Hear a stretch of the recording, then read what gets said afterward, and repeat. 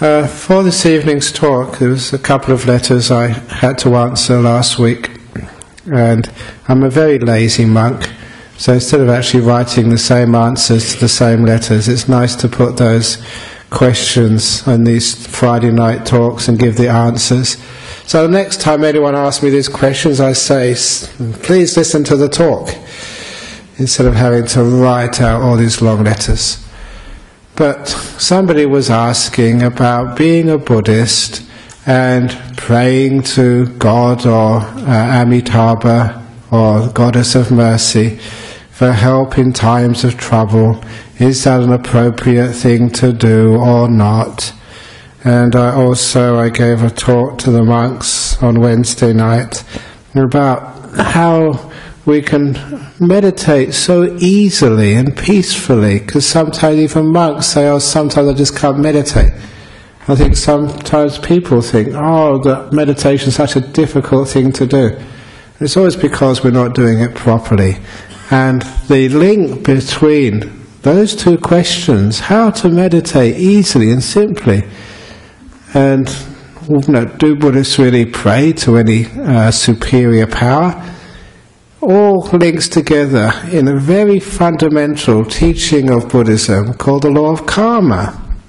So there's heaps and heaps of things we can uh, talk about with uh, karma, but this evening I'm going to sort of focus on these couple of actions and how, so a couple of aspects, and how understanding you know, more deeply, not just taking for granted the law of karma, understanding it in a deeper sense, how it can just solve so many problems in our life, answer all these questions, and also make meditation really easy.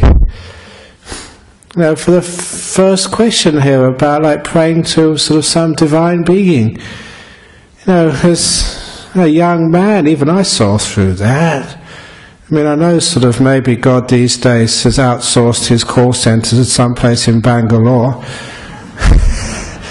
when he gets so many requests for prayers every day. But, you see, I don't get struck down by lightning for making jokes about God. Nothing is beyond the ability to crack jokes in Buddhism. That's why I like Buddhism. You can crack jokes about Ajahn Brahm, you can crack jokes about anything, which is wonderful. So instead of asking for favors, what the law of karma always teaches us and reminds us is don't just ask someone for assistance or pray, just do something about it. Be proactive. There's a lot of times what happens that when people are busy praying or asking, they could actually be doing something. Instead of praying for world peace, we can actually be creating world peace. Instead of going and having a service and asking for our prayers for the people in Burma or still in Sichuan province in China, we could actually be doing something about that. You know, the, you know collecting donations uh, or sending food over or doing something. And sometimes I feel that know, all of the, the prayers and asking is missing an important point. That it's not some supreme being which controls your destiny or the destiny of the world. That we control that destiny. You control your destiny. And it's a wonderful thing to realize that. It's a tough thing in a sense because when you realize that your destiny is in your own hands, and you're not a victim of some person up in the sky or anybody else for that matter, that your well being, your future happiness and peace is in your hands, it means you take responsibility.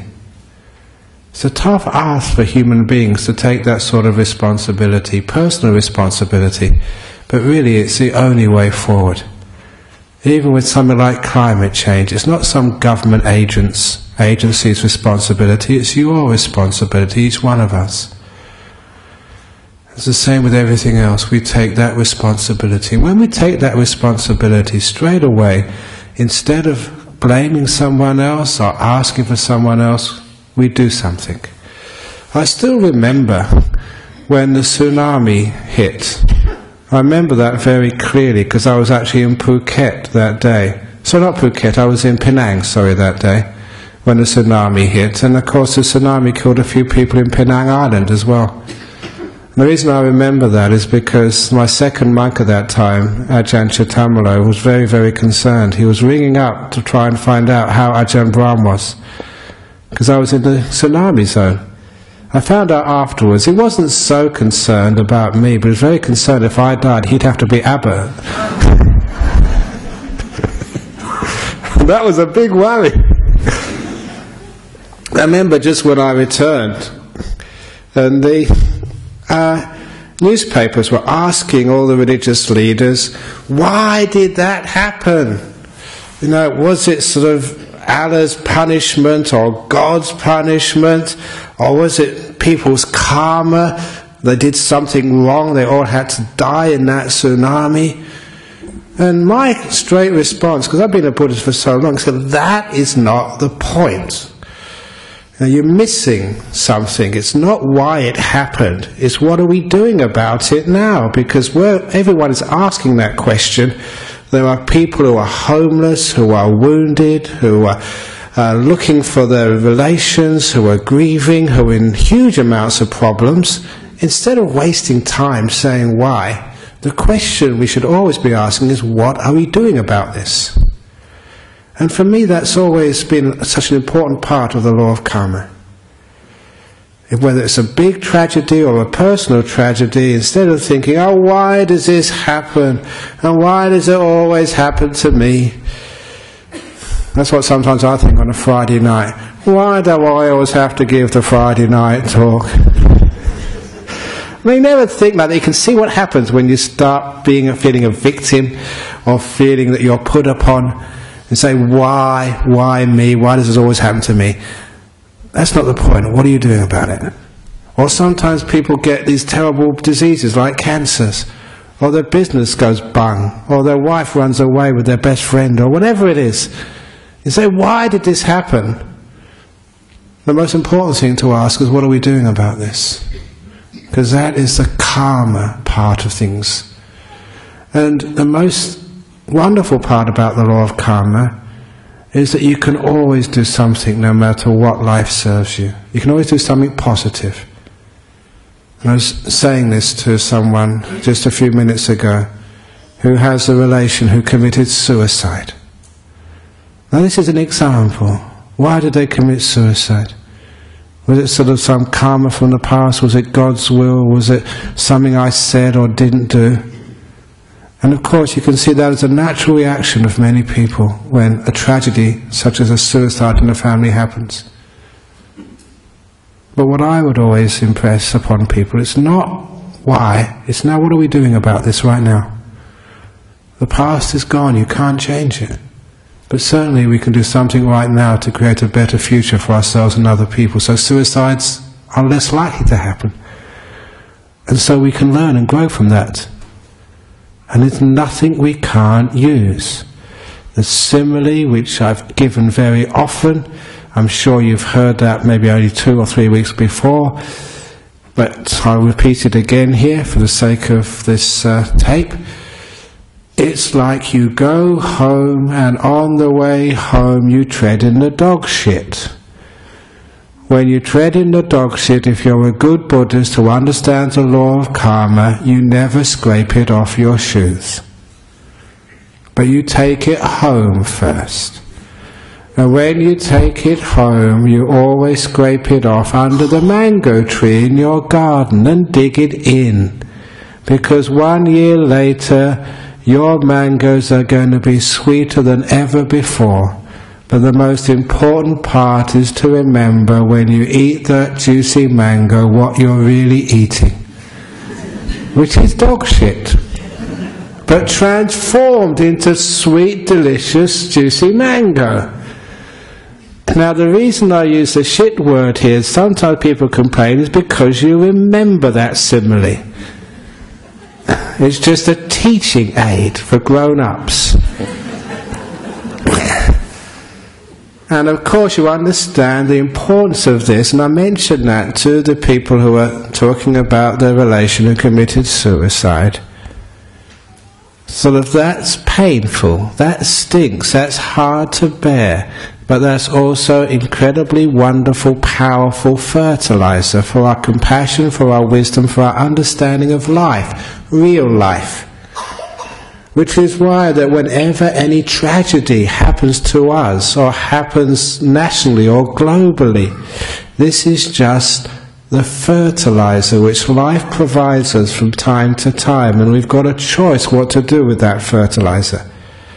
In my book, Open the Door of Your Heart, which had a title change for the US edition, and the US edition, which some of you have seen, was called Who Ordered This Truckload of Dung? And because that was relating to a particular story that if you do have shit happens to you in life, you can dig it in and you can make these beautiful things out of the most unpleasant aspects of your life. There's always something you can do. Now, I use that as an extreme example to show that when these things happen to you or happen nationally, the law of karma means stop thinking why this happened and do something about it. Dig it in. Yeah, it's tough to do. But the alternative, which is in that story, Who Ordered the Truckload of Dung, is people carry the shit around with them in their pockets. And you find if you carry dung and smelly shit in your pockets or your bags, you lose a lot of friends. and you understand what I mean by this. When people really get depressed, angry, and upset about what happens to them in life, no one likes to be around you. That's not the way to deal with these problems nor to praying, Oh, please, God, take the shit away from me. You are stuck with it. It's yours. How it came, we don't really know. We can't say, Oh, it must be because something bad I've done in the past. And that's not what the law of karma means. Even the Buddha said that sometimes these things just happen because this is life. It's not something you've done, you just were in the wrong place at the wrong time. You're just being a human being. To understand that part, I'm going to digress now onto the story of the soldier. This is a powerful story which happened when I was a young monk in Thailand, where I got a lot of my stories and understanding from. A young man was drafted into the Thai army and he was wounded in a battle on the border. Even though there was not supposed to be any battles going on, there were still struggles in the border both the Burmese border, the uh, Laotian border, the Cambodian border, which wasn't being reported for diplomatic reasons, but there was still firefights went on. He was wounded. And so he had to leave the army and he came to see his teacher Ajahn Chah with his arm bandaged and he said, Oh, I just had really, really bad karma because I got wounded in a battle. Why did it happen to me? And Ajahn Chah looked at him and said, What do you mean, why did it happen to you? You're a soldier. That's what happens to soldiers. You shoot bullets at other people, you can expect other people to shoot bullets at you. And some of those bullets would hit. He said it's a karma of being a soldier that you're likely to get wounded. In the same way, each one of you has been born as a human being. If you'd only read the contract, especially the small print, you would have read that you can die at any time from a multiple number of causes. That's part of the contract of being a human being. Understanding that, we can accept that sometimes that deaths and sicknesses happen, not because we've done something wrong, but simply because it's part and parcel of the human life. It happens, and no one is to blame. It's part of being born. When we stop blaming people, or start praying for someone else to solve this problem, we take personal responsibility. We decide, yeah, it's happened, let's do something about it. And that's that doing something about it is what karma really means. The meaning karma is a Sanskrit Pali word meaning action, to do something. That's what it means. So, whatever happens to us in life, there's always something we can do. At the moment, we're building this big retreat centre over opposite my monastery in Serpentine, a meditation retreat centre. And whenever you're doing any building, this is a major project, over $4 million of buildings. And you may have built your house. Sometimes things go wrong. They don't work out according to the plans. But I've built so much stuff in my life, when things do go wrong, there's nothing which a good builder can't solve. In other words, there's a little mistake, you can work with it. You can actually you can make use of it and improve it. As I said in the end of the story of the two bad bricks in the wall, a builder told me when they make a mistake, they always tell the, the, the customers, the clients, it's a feature. It's the only house in the whole of Perth like this. And they charge everyone an extra few thousand dollars for the extra feature. They actually turn mistakes into advantages for them and other people. And the meaning of that story is when there is a problem, there is a mistake, there's always something we can do about this. And make it sometimes happen, make it something which is wonderful for ourselves. So what karma does is gives us the responsibility and also the opportunity, knowing that no matter how bad it gets, no matter how painful it feels, no how disappointing life can be, okay, we can always make something out of this. We can make a mango out of shit. We can turn anything around with our effort, with our wisdom, with our kindness. So instead of praying to somebody else, we take responsibility and we're active, we're proactive, we do things rather than complaining about things. Rather light a candle than complain about darkness, says the old Chinese saying. Instead of you having marital problems, relationship problems, health problems, yeah, now what are you doing about that?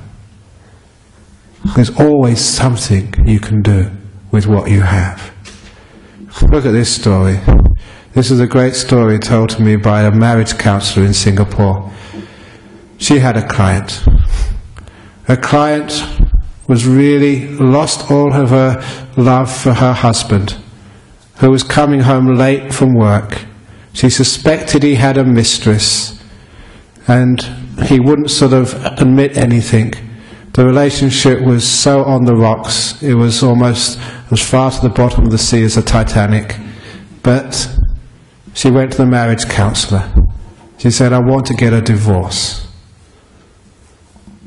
And the marriage counselor very skillfully said, Does he love you?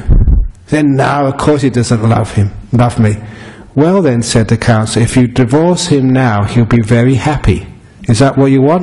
No! so here's the plan. See if you can make him love you again. You know, dress up, be kind, be charming, you know, use all of your skills as a woman to win him back. And then when he falls in love with you again, then divorce him. Yeah, yeah, yeah, that's the way to treat men. so that was the plan. So she did what she was uh, suggested. She bought some new clothes, had a nice sort of makeover, sort of was really kind, even though he came home late, she was really charming. And every week, sort of she'd uh, either call or visit the counsellor. How's it going? I said, actually, it's beginning to work he's coming home earlier. And he's actually being nice to me. I said, great, keep on going. You know, the plan's working. And as the weeks went past, he came home early, was more friendly with her, started cuddling and kissing her and everything. And then she never called the counsellor anymore. And so the counsellor, after a month, called the client and said, What's happening? You know, is he in love with you yet? He said, Yeah, he is. And the cat said, Great, time to divorce him. Oh no, he's so nice now. Mission accomplished. That was the plan all along. so, so there's sometimes I like that story because sometimes there's always something you can do. And if your relationship's on the rocks, what about trying to do something about it? Really putting huge amounts of effort into getting it back in line again.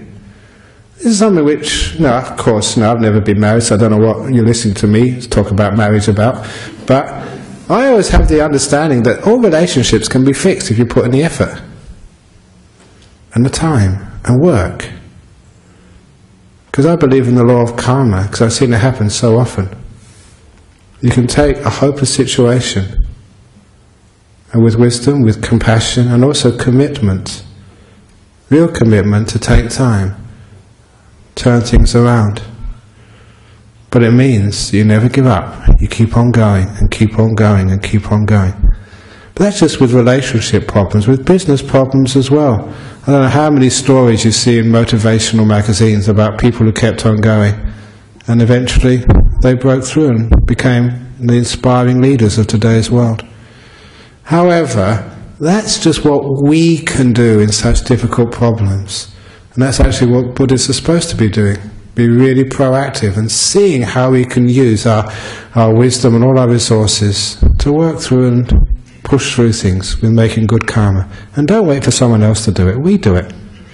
It's not only that, it's because we take personal control over ourselves, we actually do become more successful. Simply because we are more active. You don't grow a gra- garden by just sitting in front of your on the back porch of your house and start praying, oh may the carrots come up, oh may the potatoes come up, oh may the flowers bloom. You've got to sow some seeds first of all and dig and put fertilizer, whatever else you have to do in there. It makes actually much more success in your life when you put effort into it. And of course, you've seen what you know, we've achieved over all these years with our Buddhist society and our monasteries. We have put effort into things. And when things go wrong, instead of blaming or getting disillusioned, you keep going on because karma is always work in action. It's work in action, in progress. There's nothing you can't do. Imagine if I gave this talk to the West Coast Eagles and the Fremantle Dockers, who keep on losing every week. Say, come on, guys, doesn't matter. Stop looking at the past. Let the past go. Okay, and do some good karma. Get your act together, guys. At least come to learn some meditation, learn how to levitate so you can catch the ball higher than the opposition. There's always something you can do. And a good example of that is just how, instead of just letting other people do things for you, you take control of the situation yourself. This is the story of the chicken farmer. Another chicken farmer story. Of course, this is a joke, of course, but this is today's funny story. A chicken farmer had trouble with all his chicks wandering into the road, and people were driving so fast down this road they kept on killing all the chicken, chicks, especially. So he asked the local council, who were very supportive of local business, to say, can we sort of put a speed sign up so people drive slower so they won't see my chicks and kill them all? So the local council said, yeah, we can do that for you. So they put a sign up, you know, 50 kilometres an hour. But being a rural area, no chance for any police to be there. People didn't heed the sign at all. They kept on speeding right past this poor guy's farm, and all these free range chicks were still slaughtered. So after three days, he rang them up again. The sign is not working. Can you try something else?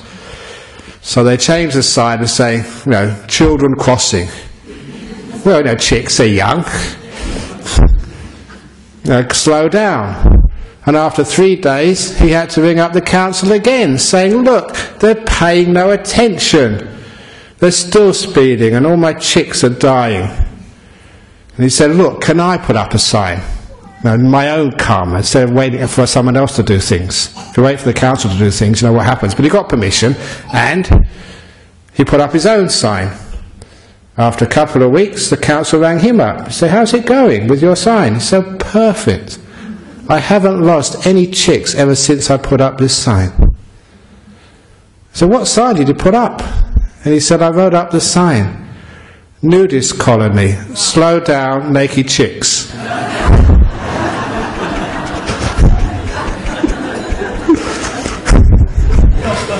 Everyone slow down.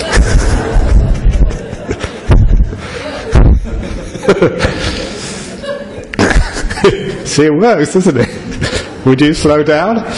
Even if you're a Buddhist, yes, you probably would.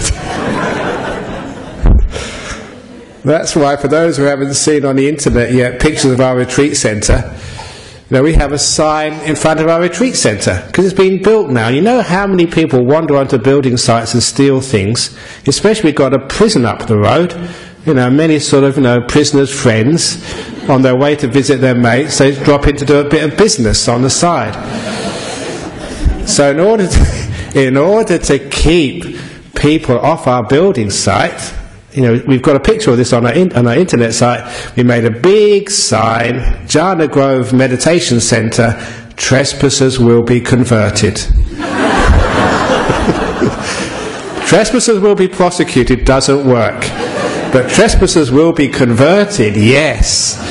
no one wants to be converted. Actually, I put that sign up on our, uh, our monastery in the first year, but it got pinched. so please don't pinch this sign, even though it's original. So anyway, that's actually karma, being wise. There's all sorts of ways which you can solve the problem if you're innovative, but don't wait for somebody else to do it. You do it yourself. The Lord karma, taking personal responsibility.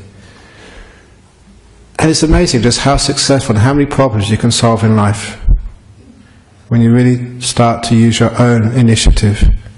Other people can cheer you on. They're like the, the crowd in the grandstand as you're playing the game. They can cheer you on. They can encourage you. But it's up to you to actually to play that game. And that game is our life. But even deeper than that, with this wonderful law of karma, you get so much fun with making good karma at our monastery, being a monk, we just love making good karma. So much so, if there's a job to be done in the monastery, even if it's not my turn, I will do it. Even if it's not supposed to be done, because I'm supposed to be abbot, still I would take junior monks' bowls down or do something. You just enjoy doing things for other people making good karma. When you understand what good karma is, and just how it's so much good fun, it doesn't matter whose turn it is to make the tea in the morning. It doesn't matter whose turn it is to wash up. When you realize it's a wonderful act of good karma to do this, you fight over the opportunity to do the washing up. No, I want to do it. No, no, I want to do it. You did it last time. No, it's my turn. No, I want to do it. you have these wonderful fights in the monastery to try and do things. Obviously, all good natured. Can I take the rubbish out today? Because you realize it's an act of service. It's a wonderful thing to do. When you do know what good karma is, it creates so much happiness and peace. You get inspired, as I said the other day, to do acts of like forgiveness. Why? It's just good karma to do this, to say sorry. Doesn't matter, it might not be your fault. The other person's fault, but you say sorry anyway. It's amazing just what happens when you inspire yourself, just because of the spirituality of doing any act of kindness, good karma, or whatever. It's great to be able to do that. But there's another aspect of karma which I wanted to bring up in this talk, which is very rarely talked about, and that's actually the karma of meditation. Because you know, you're coming here for half an hour meditation. And I'm very proud that you all sit quietly for that half an hour, even though there's sometimes there's noises going on. And but I'm really disappointed that some people come along and say, "Oh, I can't meditate." And the reason they say they can't meditate is because they've got the wrong attitude to meditation.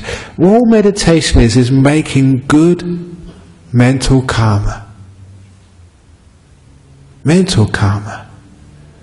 So it's not just, you don't make just karma by, by what you do or what you say. It's also by the way you move your mind. And what do I mean by making good mental karma? It's like learning how to make peace with things, being kind with things, embracing things, accepting things, not being fault finding or negative or argumentative with yourself. This is turning karma, not what you do to other people, but what you do to yourself. And when I point that out, how many of you are just so aggressive to yourself and so argumentative and basically have so much ill will towards yourself. Learning about good meditation karma is when you close your eyes or any time during the, the meditation period, what are you experiencing? Be kind to that. Be peaceful. Be gentle. Let it be. This is this beautiful mental good karma to this moment. The opposite, which many people do when they meditate, whatever they're watching, say they may be thinking too many thoughts. Oh, I shouldn't be thinking, I'm supposed to be watching my breath.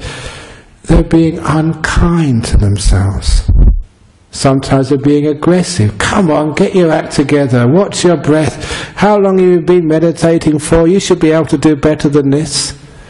Is that good meditation karma or is it bad speech to yourself? When I point out, just like the law of karma works in the external world outside, it also works psychologically in your mind as well. Many people understand what it means to meditate now. It's not important whether you are sleepy, whether you are thinking. It doesn't really matter what the object of your mind is. What's most important is what you're doing about it. Just like I said earlier, why the tsunami happened, that it happened, the most important question, the law of karma, is what you're doing about it now. So when, say, you're sleepy in meditation, what are you doing about it? Are you being kind to it? Are you, say, opening the door of your heart to this sleepiness right now and being at peace with it? Or are you making war with it? How are you reacting to your mental state right now? So often, when you make bad mental karma, in other words, you fight the mind, you try and control your own mind, you're negative when it doesn't meet your expectations. No wonder that leads to so much sense of frustration and thinking, I can't meditate, I can't get peaceful, I can't achieve these wonderful states you know, which the books say. The reason is because you're making bad meditation karma, mental karma. So try making good mental karma, meditation karma. So next time you meditate, be kind, be peaceful, be gentle, let go, leave things alone, let them be. And if you practice like that, you should know that good karma leads to good results. After making peace, being kind, being gentle with every moment, you find the mind becomes so peaceful and so pure and so energized and so free. Why does that happen? Because you've made the good karma. It's just cause and effect, that's all. I remember just when I was in Thailand, a young monk, we used to get up at three o'clock in the morning. Over here we only get up at four o'clock, we slack. Three o'clock in the morning, we used to get up in Thailand. And used to have to go and meditate by about quarter past. We had to be in the hall, or else. I never found out what else meant because I was always there in time. And you were sitting there, and I was always really sleepy in the morning when I was meditating. And I tried to fight that sleepiness. And you couldn't fight through it, you just get even more sleepy. Or sometimes you'd break through and become awake, but then you'd be thinking too much. So it's always between thinking and being sleepy and dull. And it's so hard to find that middle path where you're just peaceful and alert, you know, what meditation should be doing. And when I came to Australia, I looked back upon that and said, oh, obvious, look, I was getting up really early in the morning. We're supposed to only have four hours sleep a night. I indulged, I had four and a half. But four and a half hours sleep at night for a young man, I was sleep deprived. Already mentioned the sort of food we eat in those monasteries 20, 34 years ago. Anything which crawled, literally, insects, bugs, snails, that's what we ate. So I was also malnourished as well. And it was hot. I was not used to that climate. So there you go. Sleep deprived, malnourished, uh, hot climate. What do you expect? Anyone would get sleepy. I'm sure if the Buddha was an Englishman, he would get sleepy in that climate as well, cause and effect. That's all it was. So, I realized that making a war with my sleepiness wouldn't work. I actually changed it around. I just, well, it's obvious it's cause and effect. Just allow sleepiness to be. Be kind to it. Be gentle to it. Be peaceful. Make peace, not war. That's what the hippies used to say. Two fingers, make peace, not war. I still say that as a monk, make peace, not war. with your mind. In other words, make good karma with your mind. If you make good karma with your mind, and it works, you make peace with every moment. Okay, your mind is crazy. Allow it to be crazy. Make peace with it. Be kind to it. Open the door of your heart to this mind, no matter what it is. Now, that's what loving kindness is. It's opening the door of your heart no matter what you do, no matter where you go, no matter what happens. Can't we do that to ourselves or our own mind in this moment? If you do, you're making peace, you're being kind, you're being gentle. That's the way to meditate. Anyone can do that. Doesn't matter where you start from. Doesn't matter what's going on in your head. Doesn't matter sort of if you're sick and in pain. You can always make peace. You can always be kind. You can always be gentle.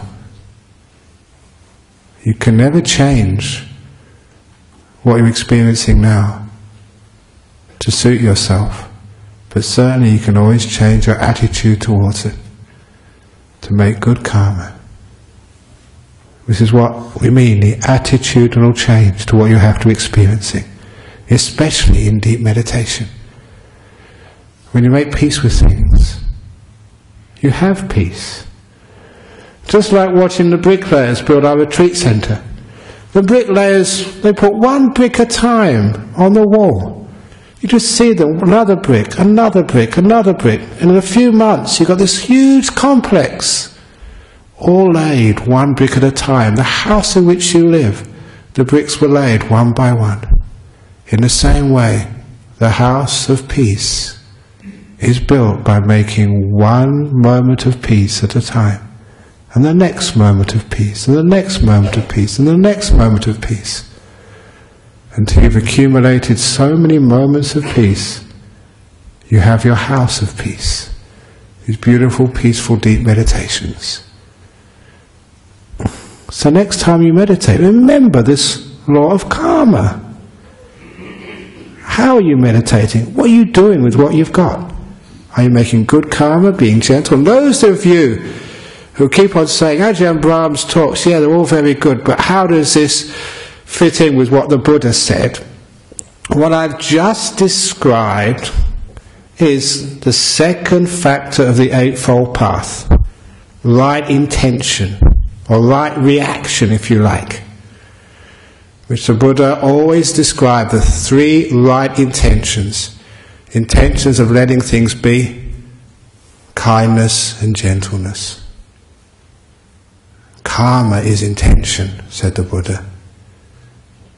Good karma is always letting go, letting things be, stop fighting them, making peace with them, being kind and being gentle.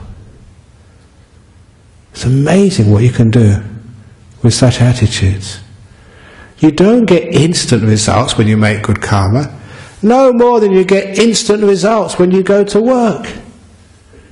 I don't know how many of you got paid today, but I remember this fellow who went to work on a Monday morning. He worked so hard all day, and at the end of the day, didn't get paid. He went to work on Tuesday, worked all day, worked really hard, and still he got nothing for all his effort. On Wednesday, he thought, what's the point of going to work? But his wife forced him to go, so he went to work on Wednesday, worked hard, still got nothing. Thursday, well, nothing much to do, so he went to work on Thursday as well. And on Friday he thought, what's the point going to work? But end of the week, nothing better to do, so he went to work. And on Friday, his boss gave him a check. And he thought, wow, from now on I'm only going, going to go to work on Fridays. And of course, you don't realize that the Friday check is accumulating all that you've done before, all of your good karma which you've done before. And that's actually how karma works. You don't get instant results, you've got to wait, build up the energy, build up the goodness, build up the peace. So you make peace with every moment when you're meditating. You're kind to every moment. So someone comes in the door, they bang the door when you meditate. That's a moment you can either be angry and upset, or it's a moment you can make peace and be kind and be gentle. Which one are you going to choose? The way of good karma or the way of bad karma? The dog barks, what are you going to do? Or you burp, or you have a stupid thought comes in your mind, what are you going to do? You've got a choice there, making good karma or bad karma with your mind. If you let it be, if you're kind, if you're gentle, you made another moment of good karma. In meditation, you just build that up, moment after moment after moment after moment, and you can all do that. And you find your meditation takes off. You know what peace is. Deep peace, deep stillness, deep kindness. All these stages they just come naturally. They're just landmarks on the journey. All come from making peace. Then you have peace. I know so many people say that the thing which they want most of all in life is peace of mind. You know, even like rich people. Apparently, somebody showed me this this talk, the Arvi Parbo lecture, which was given for business people a couple of weeks ago. And one of these mining magnates who's made millions gave the lecture, and all these business entrepreneurs thought that this fellow was going to give a talk on how to make more money from the mining boom. And instead, he just gave this talk on spirituality, on how important it was to have peace of mind and have meaning in life, and how all these executives would do very well just to watch their breath for five minutes. And it stunned people. It was in the West Australian, but it was in the business section. So many of you may have missed it. But there it was, basic Buddhism in the business section of the West Australian from a mining magnate. Simply because peace of mind was so important for us. And once we have that peace of mind, once we know how to train our mind, once we know the calm of, men, of mind, we can be deep meditation, we can rest, we can get rid of our stress, we can also be very effective in our work, in our life, in our relationships. Because it's from our mind when we know how to train the mind, know how to make peace, kindness, and gentleness in our mind. It's incredible just how powerful that can be in our life.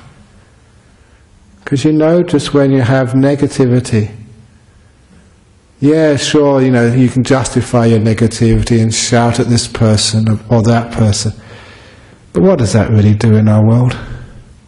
Sometimes it's just the person who shouts loudest or screams loudest wins, and that's sometimes not you. It's not the person who's right. So instead of following that type of path, we can follow other paths. It's amazing just how powerful peace can be, how powerful kindness can be gentleness can be. Never underestimate the force of gentleness. Sometimes when someone's shouting at you, pause. When they finish shouting, pause for a few seconds. Don't shout back immediately. They've been angry at you, scolded you. As soon as they've finished, be quiet. Only for five seconds. Because that five second pause gives the other person a chance to listen to what they've just said. They're just reflecting on how they've scolded you. It's amazing how powerful that five second pause can be. What usually happens when somebody scolds you, as soon as they stop, you scold them back. Or you justify yourself. You don't give them a chance to listen to what they've just said. Five second pause, a moment of peace. It's incredibly powerful. And they realize just what a stupid thing they've done. Very often that happens. The ability to hold yourself and pause like that is marvelous. I remember one other sort of key incident which happened. Brilliant piece of psychology from our former teacher here, Ajahn Jagaro. He's described about 15 years ago. When he was a senior monk in Thailand, we were having our lunch, one meal of the day, in the morning. And in the middle of our meal, this woman burst in, a Thai woman. It was really not the done thing, completely lack of social etiquette, but we understand why she burst in because her best friend had just shot herself. And she'd found the body about an hour or half an hour, called the police, and the first thing she did was to come to the temple. And she was distraught. She's shot herself, she's killed herself, she shot herself, killed herself. And the head monk looked at her and then just looked down and carried on eating. Completely ignored her. And it was a wonderful thing to see. I was saying, what is this monk doing? You can't do that. This, monk, this lady needs you. She's in stress. She's just found her best friend with a bullet in her head. Surely you should just do something. But no, he just carried on eating. And this woman came in screaming, arms flailing around, calmed down, because no one was feeding her anxiety, her, her, her stress, her pain. She calmed down. And when she was calmed down, this monk put his spoon back in his bowl, stopped eating. What's happened? Was a beautiful piece of emotional intelligence. Because if he'd have got upset as well, what? She's killed herself? How did it happen? What did happen?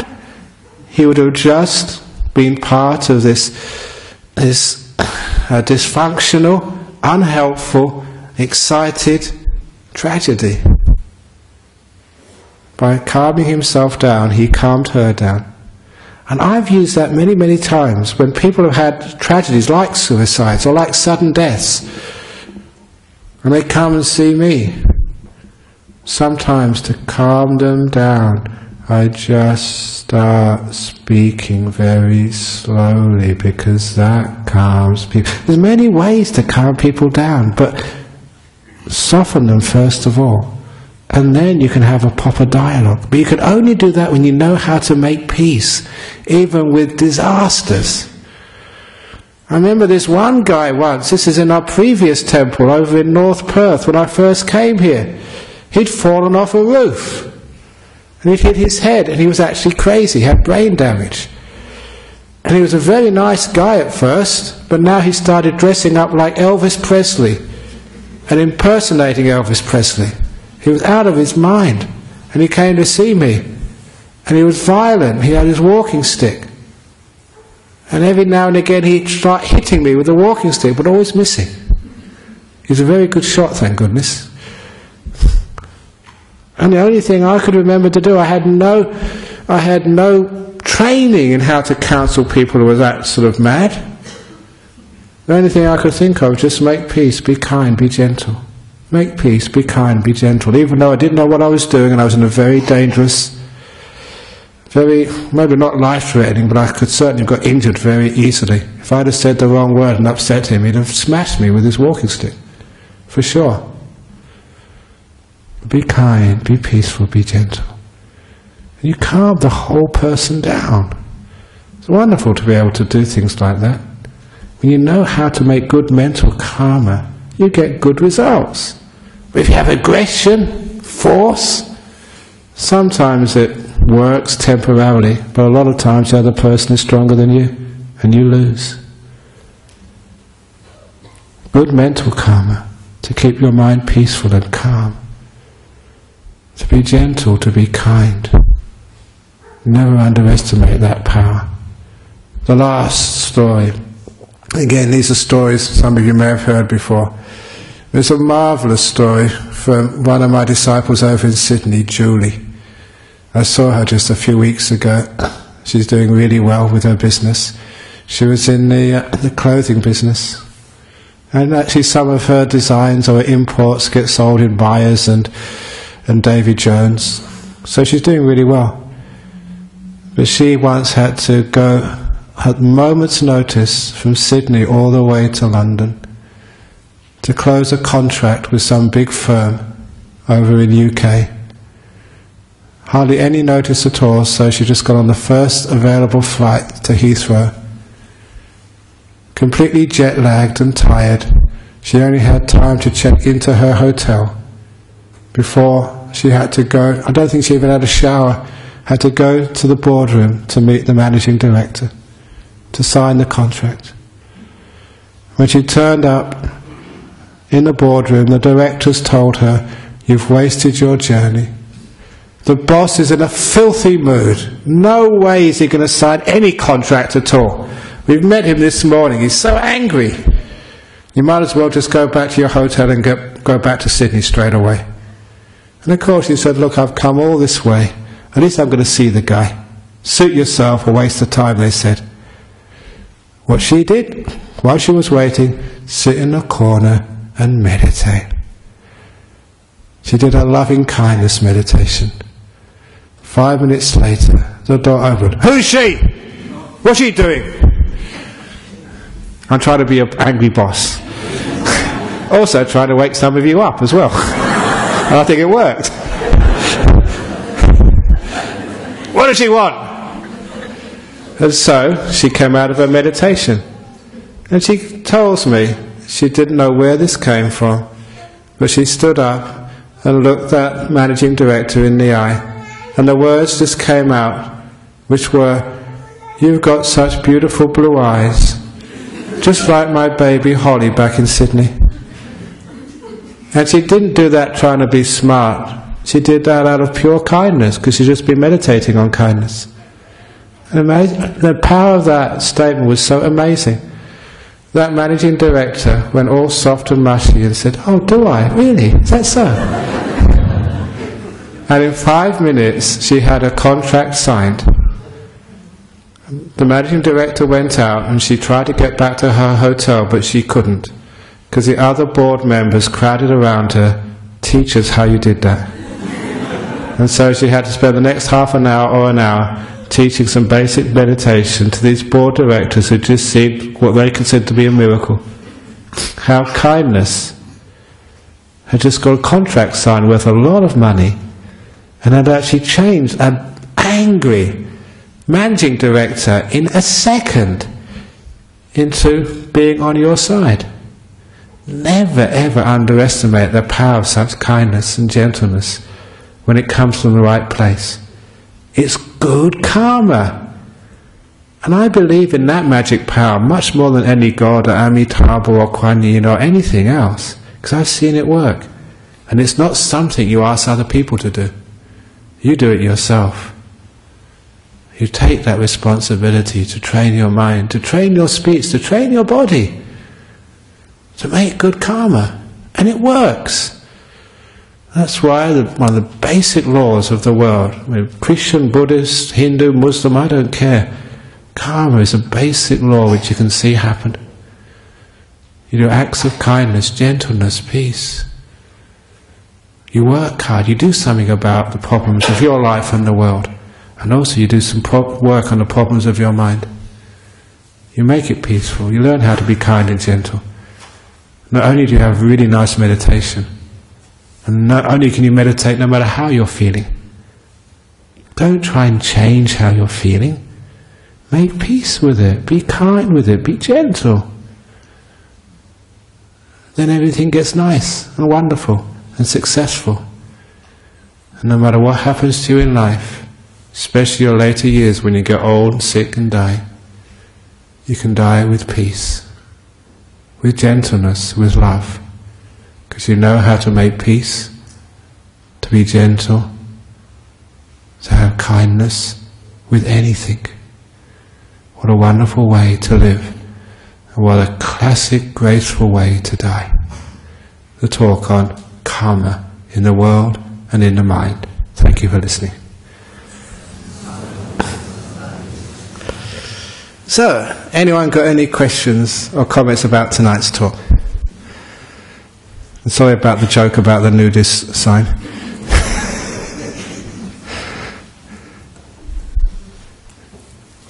Actually, somebody, uh, our admin officer, downloaded from the internet three jokes.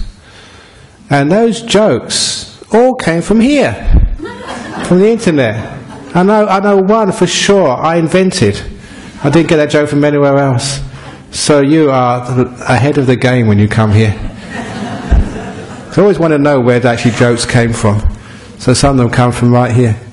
Anyway, any questions before we go? Okay.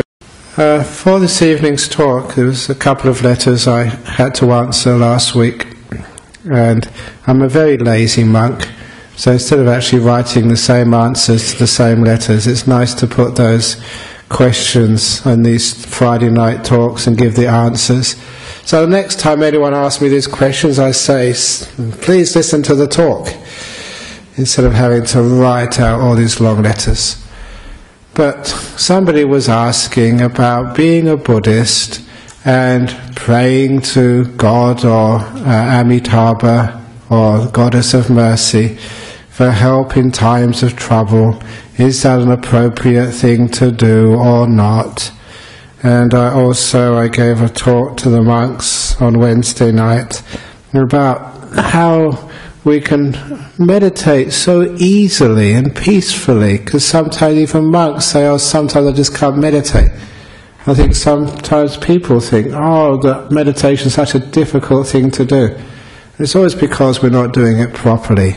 And the link between those two questions, how to meditate easily and simply, and do Buddhists really pray to any uh, superior power? all links together in a very fundamental teaching of Buddhism called the law of karma. So there's heaps and heaps of things we can uh, talk about with uh, karma, but this evening I'm going to sort of focus on these couple of actions and how, so a couple of aspects, and how understanding you know, more deeply, not just taking for granted the law of karma, understanding it in a deeper sense, how it can just solve so many problems in our life, answer all these questions, and also make meditation really easy. Now, for the first question here about like praying to sort of some divine being, you know, as a young man, even I saw through that. I mean, I know sort of maybe God these days has outsourced his call centres at some place in Bangalore when he gets so many requests for prayers every day. But, you see, I don't get struck down by lightning for making jokes about God. Nothing is beyond the ability to crack jokes in Buddhism. That's why I like Buddhism. You can crack jokes about Ajahn Brahm, you can crack jokes about anything, which is wonderful. So instead of asking for favors, what the law of karma always teaches us and reminds us is don't just ask someone for assistance or pray, just do something about it. Be proactive. There's a lot of times what happens that when people are busy praying or asking, they could actually be doing something. Instead of praying for world peace, we can actually be creating world peace. Instead of going and having a service and asking for our prayers for the people in Burma or still in Sichuan province in China, we could actually be doing something about that. You know, the, you know collecting donations uh, or sending food over or doing something. And sometimes I feel that you know, all of the, the prayers and asking is missing an important point. That it's not some supreme being which controls your destiny or the destiny of the world. That we control that destiny. You control your destiny. And it's a wonderful thing to realize that. It's a tough thing in a sense because when you realize that your destiny is in your own hands, and you're not a victim of some person up in the sky or anybody else for that matter, that your well being, your future happiness and peace is in your hands, it means you take responsibility. It's a tough ask for human beings to take that sort of responsibility, personal responsibility, but really it's the only way forward. Even with something like climate change, it's not some government agent's agency's responsibility, it's your responsibility, each one of us. It's the same with everything else. We take that responsibility. When we take that responsibility straight away, instead of blaming someone else or asking for someone else, we do something. I still remember when the tsunami hit. I remember that very clearly because I was actually in Phuket that day. So not Phuket, I was in Penang, sorry, that day when the tsunami hit. And of course the tsunami killed a few people in Penang Island as well. And the reason I remember that is because my second monk at that time, Ajahn Chitamalo, was very, very concerned. He was ringing up to try and find out how Ajahn Brahm was because I was in the tsunami zone. I found out afterwards he wasn't so concerned about me, but he was very concerned if I died, he'd have to be Abbot. that was a big worry. I remember just when I returned, and the uh, newspapers were asking all the religious leaders, why did that happen? You know, was it sort of Allah's punishment or God's punishment? Or was it people's karma? They did something wrong, they all had to die in that tsunami. And my straight response, because I've been a Buddhist for so long, said that is not the point. Now you're missing something. It's not why it happened. It's what are we doing about it now? Because everyone is asking that question there are people who are homeless, who are wounded, who are uh, looking for their relations, who are grieving, who are in huge amounts of problems. Instead of wasting time saying why, the question we should always be asking is what are we doing about this?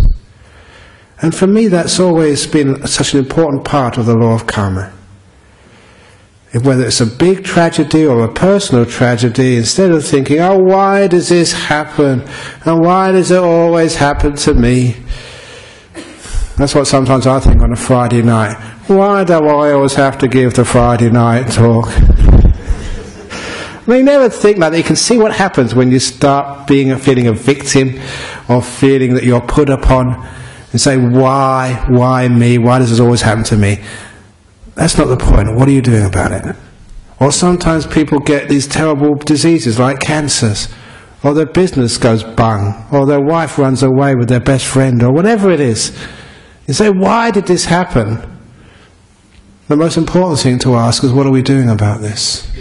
Because that is the karma part of things. And the most wonderful part about the law of karma is that you can always do something no matter what life serves you. You can always do something positive. And I was saying this to someone just a few minutes ago who has a relation who committed suicide. Now, this is an example. Why did they commit suicide? Was it sort of some karma from the past? Was it God's will? Was it something I said or didn't do? And of course, you can see that as a natural reaction of many people when a tragedy, such as a suicide in a family, happens. But what I would always impress upon people is not why, it's now what are we doing about this right now? The past is gone, you can't change it. But certainly we can do something right now to create a better future for ourselves and other people. So suicides are less likely to happen. And so we can learn and grow from that. And it's nothing we can't use. The simile, which I've given very often, I'm sure you've heard that maybe only two or three weeks before, but I'll repeat it again here for the sake of this uh, tape. It's like you go home and on the way home you tread in the dog shit. When you tread in the dog shit, if you're a good Buddhist who understands the law of karma, you never scrape it off your shoes. But you take it home first. And when you take it home, you always scrape it off under the mango tree in your garden and dig it in. Because one year later, your mangoes are going to be sweeter than ever before But the most important part is to remember when you eat that juicy mango what you're really eating, which is dog shit, but transformed into sweet, delicious, juicy mango. Now, the reason I use the shit word here, sometimes people complain, is because you remember that simile. It's just a teaching aid for grown ups.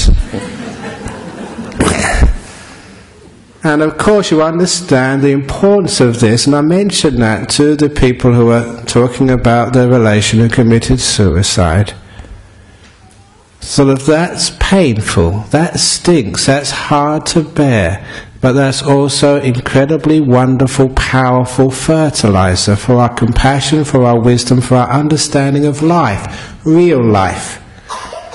Which is why that whenever any tragedy happens to us or happens nationally or globally, this is just the fertilizer which life provides us from time to time, and we've got a choice what to do with that fertilizer. In my book, Open the Door of Your Heart, which had a title change for the US edition and the US edition, which some of you have seen, was called Who Ordered This Truckload of Dung? And because that was relating to a particular story that if you do have shit happens to you in life, you can dig it in and you can make these beautiful things out of the most unpleasant aspects of your life. There's always something you can do. Now, I use that as an extreme example to show that when these things happen to you or happen nationally, the law of karma means stop thinking why this happened and do something about it. Dig it in. Yeah, it's tough to do. But the alternative, which is in that story, Who Ordered the Truckload of Dung, is people carry the shit around with them in their pockets and you find if you carry dung and smelly shit in your pockets or your bags, you lose a lot of friends. and you understand what I mean by this. When people really get depressed, angry, and upset about what happens to them in life, no one likes to be around you.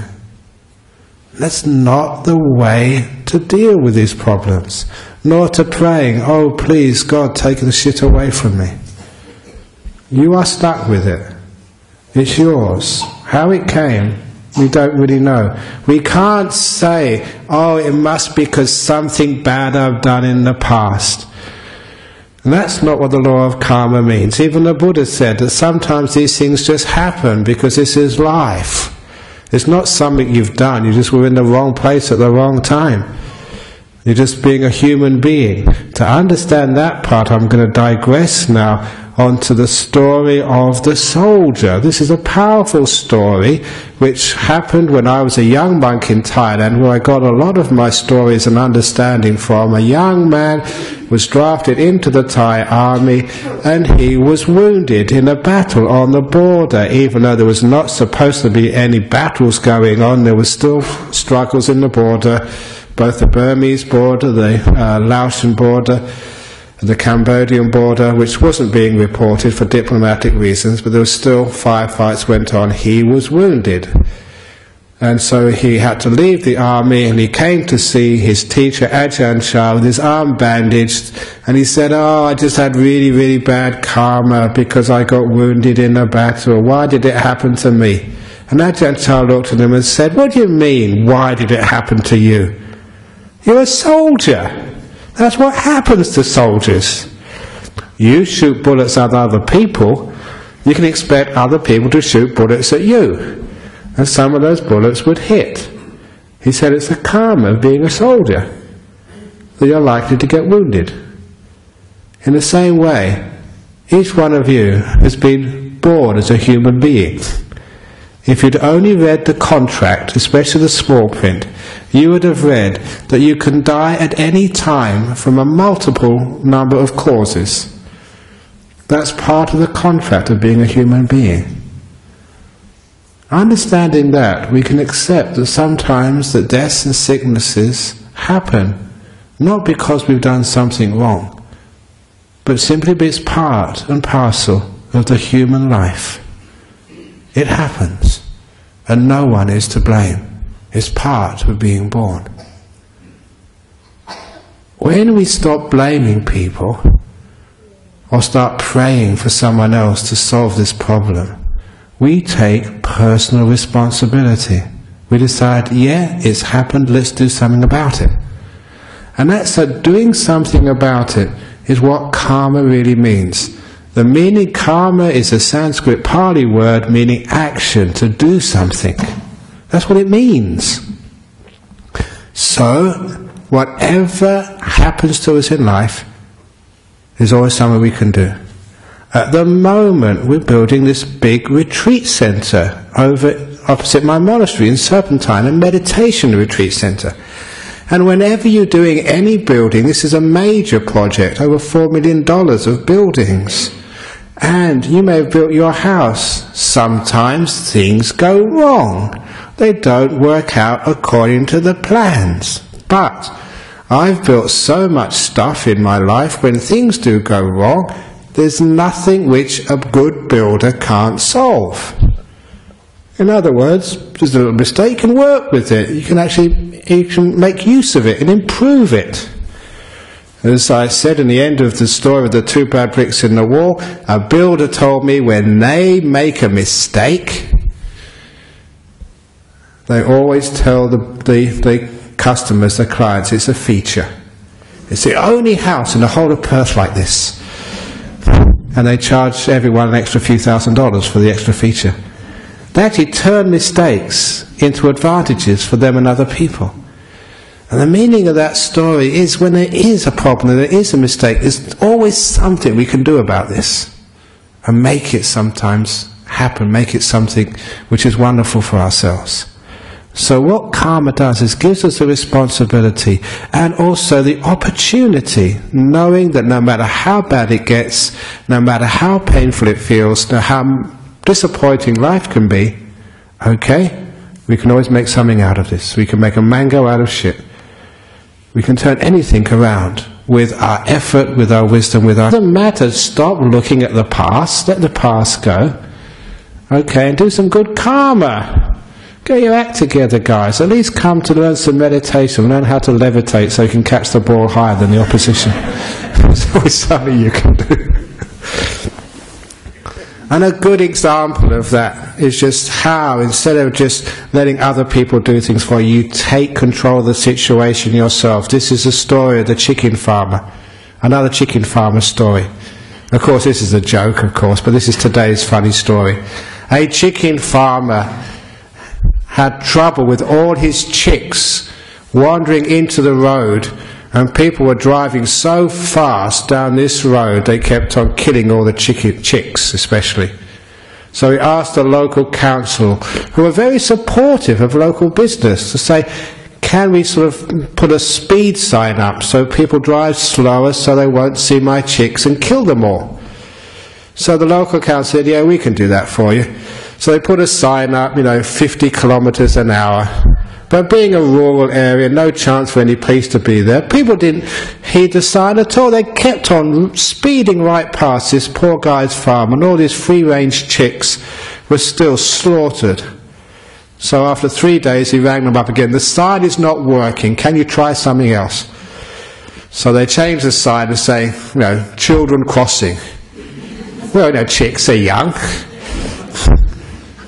uh, slow down. And after three days, he had to ring up the council again, saying, Look, they're paying no attention. They're still speeding, and all my chicks are dying. And he said, Look, can I put up a sign? Now, my own karma, instead of waiting for someone else to do things. If you wait for the council to do things, you know what happens. But he got permission, and he put up his own sign. After a couple of weeks, the council rang him up. Said, How's it going with your sign? Said, Perfect. I haven't lost any chicks ever since I put up this sign. So, what sign did you put up? And he said, I wrote up the sign Nudist colony, slow down, naked chicks.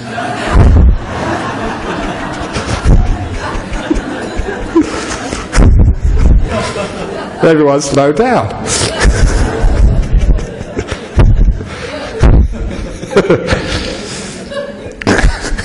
See, it works, doesn't it? would you slow down?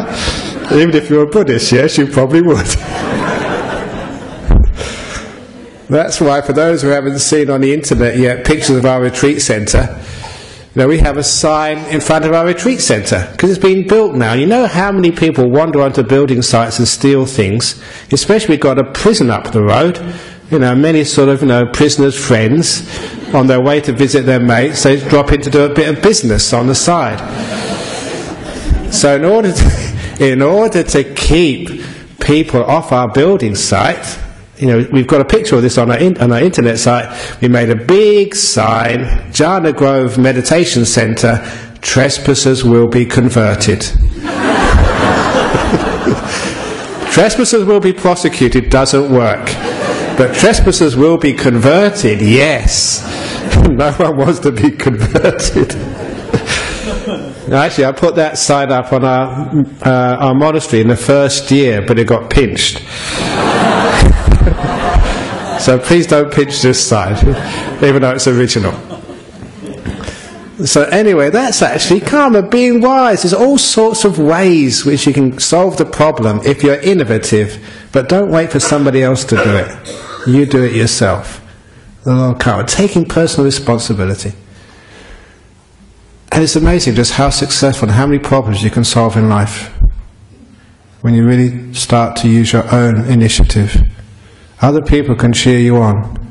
They're like the, the crowd in the grandstand as you're playing the game. They can cheer you on, they can encourage you, but it's up to you to actually to play that game.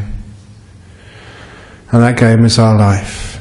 But even deeper than that, with this wonderful law of karma, you get so much fun with making good karma.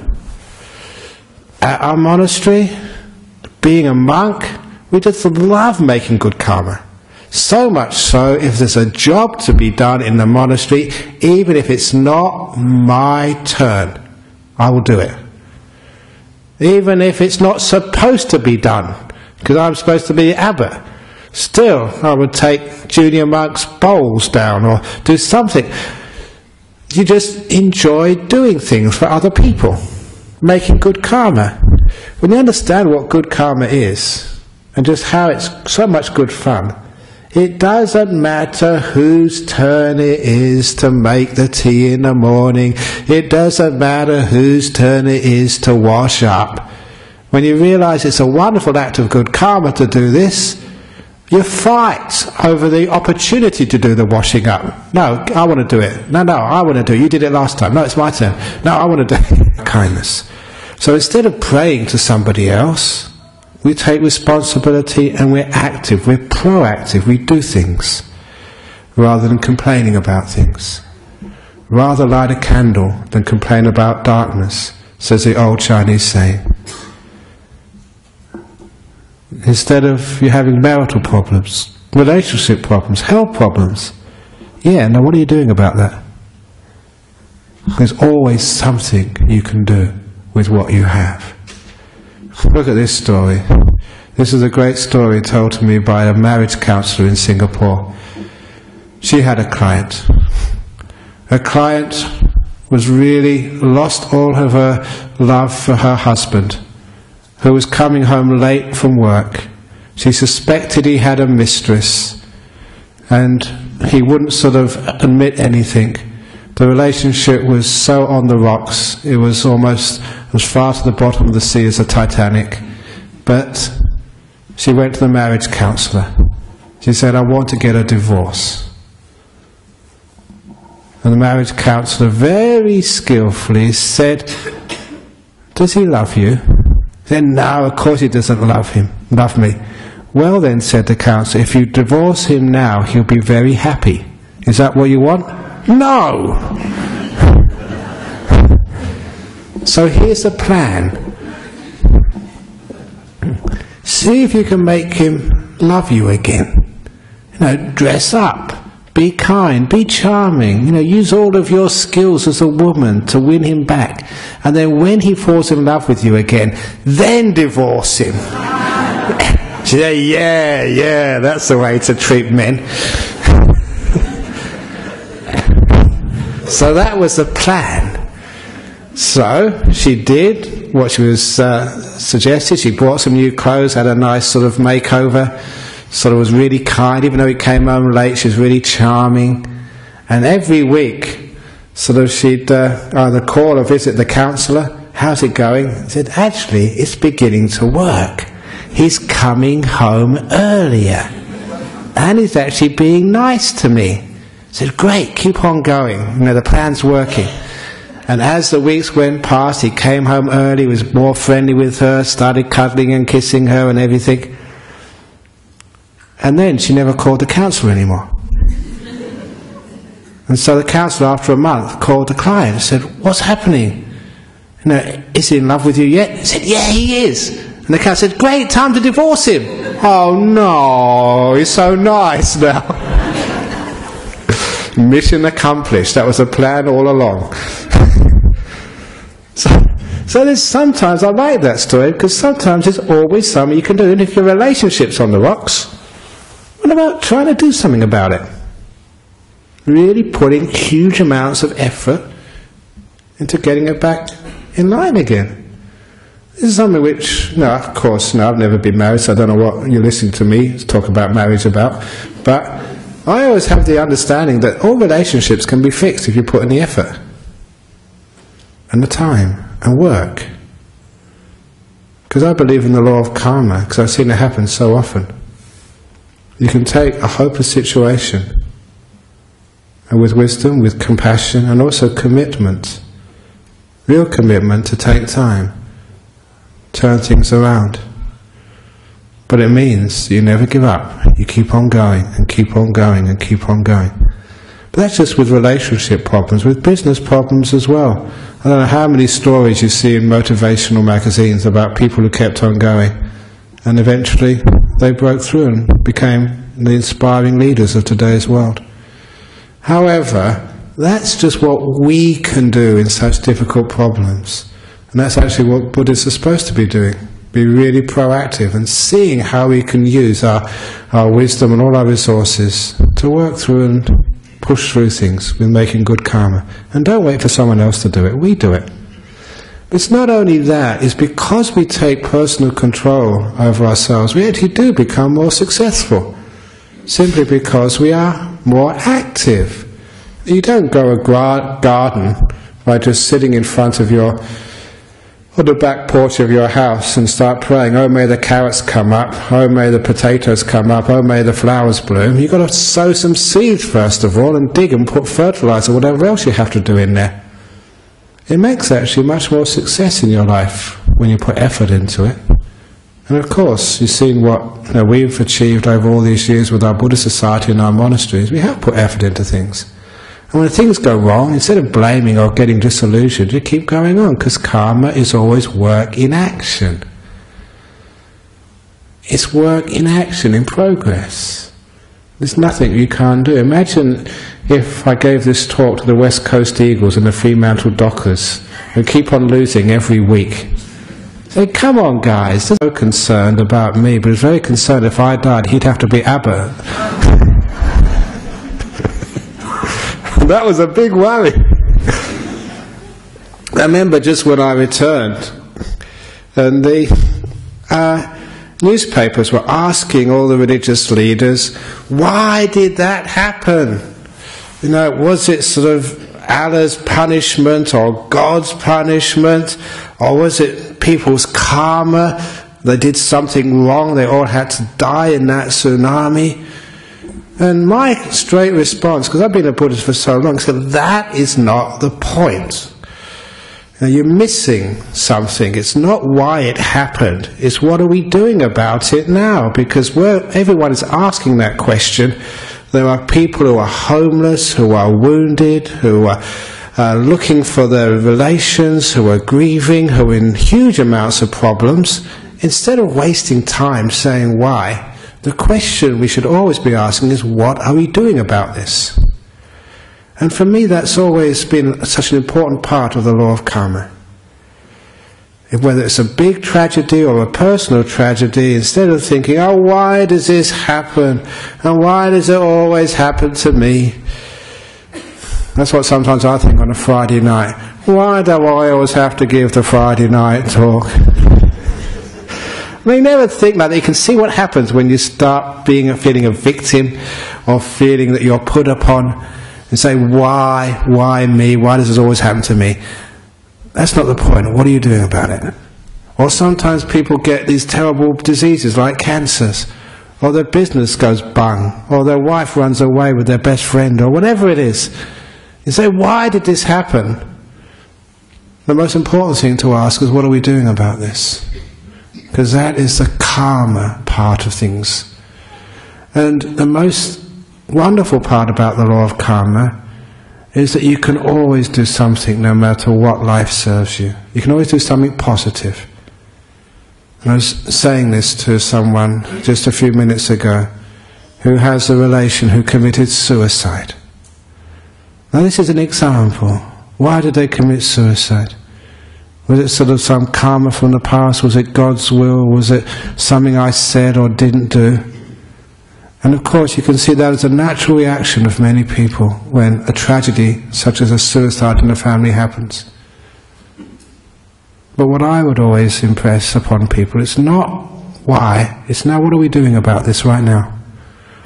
The past is gone, you can't change it. But certainly we can do something right now to create a better future for ourselves and other people. So suicides are less likely to happen. And so we can learn and grow from that. And it's nothing we can't use.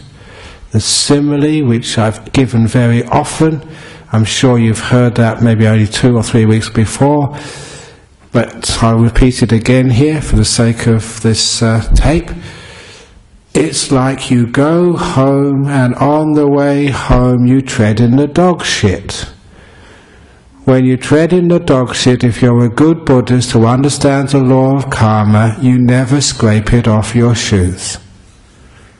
But you take it home first. And when you take it home, you always scrape it off under the mango tree in your garden and dig it in.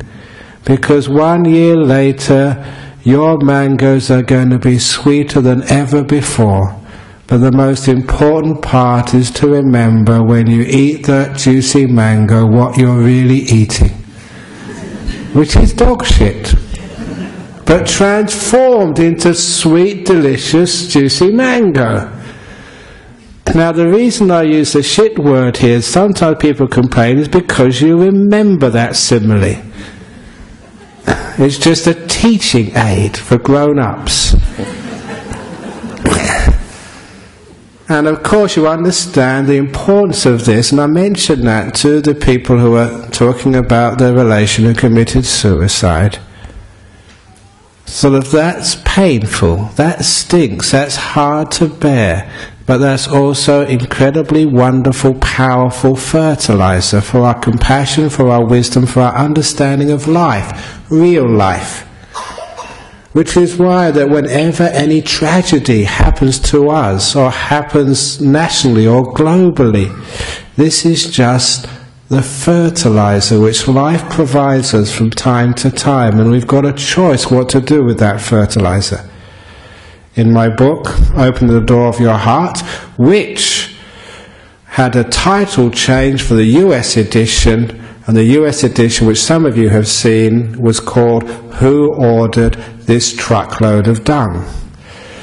And because that was relating to a particular story that if you do have shit happens to you in life, you can dig it in and you can make these beautiful things out of the most unpleasant aspects of your life. There's always something you can do.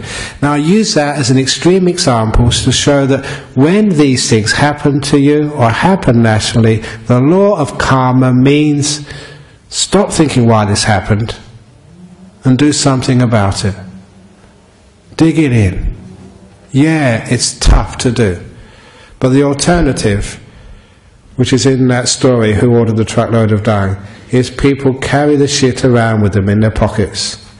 And you find if you carry dung and smelly shit in your pockets or your bags, you lose a lot of friends. and you understand what I mean by this. When people really get depressed, angry, and upset about what happens to them in life, No one likes to be around you. That's not the way to deal with these problems, nor to praying, oh please God, take the shit away from me. You are stuck with it. It's yours. How it came, we don't really know. We can't say, oh, it must be because something bad I've done in the past.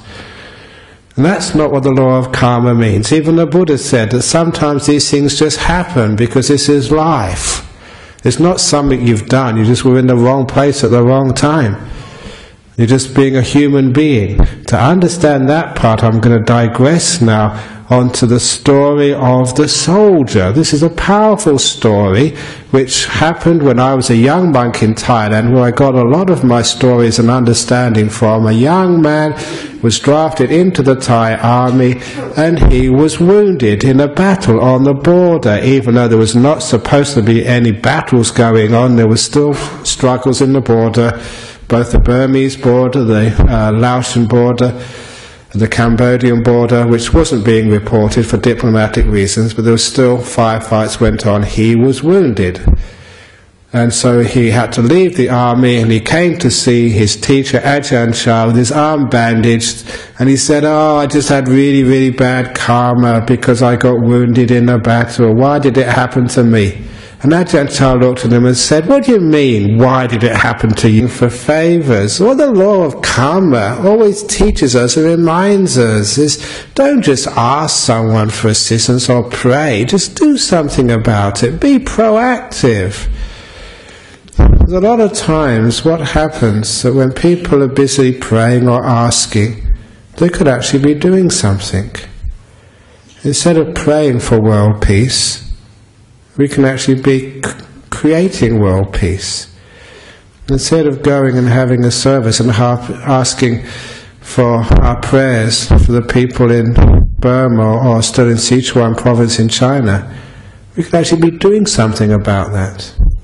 You know, the, you know collecting donations uh, or sending food over or doing something. And sometimes I feel that you know, all of the, the prayers and asking is missing an important point. That it's not some supreme being which controls your destiny or the destiny of the world. That we control that destiny. You control your destiny. And it's a wonderful thing to realize that. It's a tough thing in a sense because when you realize that your destiny is in your own hands, and you're not a victim of some person up in the sky or anybody else for that matter, that your well being, your future happiness and peace is in your hands, it means you take responsibility. It's a tough ask for human beings to take that sort of responsibility, personal responsibility, but really it's the only way forward. Even with something like climate change, it's not some government agent's agency's responsibility, it's your responsibility, each one of us. It's the same with everything else. We take that responsibility. When we take that responsibility straight away, instead of blaming someone else or asking for someone else, we do something. I still remember when the tsunami hit I remember that very clearly because I was actually in Phuket that day. So not Phuket, I was in Penang, sorry, that day, when the tsunami hit. And of course the tsunami killed a few people in Penang Island as well. And the reason I remember that is because my second monk at that time, Ajahn Chitamalo, was very, very concerned. He was ringing up to try and find out how Ajahn Brahm was. Because I was in the tsunami zone. I found out afterwards it wasn't so uh, for this evening's talk, there was a couple of letters I had to answer last week, and I'm a very lazy monk, so instead of actually writing the same answers to the same letters, it's nice to put those questions on these Friday night talks and give the answers. So the next time anyone asks me these questions, I say, please listen to the talk, instead of having to write out all these long letters. But somebody was asking about being a Buddhist and praying to God or uh, Amitabha or Goddess of Mercy for help in times of trouble. Is that an appropriate thing to do or not? and I also I gave a talk to the monks on Wednesday night about how we can meditate so easily and peacefully because sometimes even monks say, oh, sometimes I just can't meditate. I think sometimes people think, oh, that meditation is such a difficult thing to do. It's always because we're not doing it properly. And the link between those two questions, how to meditate easily and simply, and you know, do Buddhists really pray to any uh, superior power? All links together in a very fundamental teaching of Buddhism called the law of karma. So there's heaps and heaps of things we can uh, talk about with uh, karma, but this evening I'm going to sort of focus on these couple of actions and how, so a couple of aspects, and how understanding you know, more deeply, not just taking for granted the law of karma, understanding it in a deeper sense, how it can just solve so many problems in our life, answer all these questions, and also make meditation really easy. Now, for the first question here about like praying to sort of some divine being, you know, as a young man, even I saw through that. I mean, I know sort of maybe God these days has outsourced his call centres at some place in Bangalore when he gets so many requests for prayers every day. But, you see, I don't get struck down by lightning for making jokes about God. Nothing is beyond the ability to crack jokes in Buddhism. That's why I like Buddhism. You can crack jokes about Ajahn Brahm, you can crack jokes about anything, which is wonderful. So instead of asking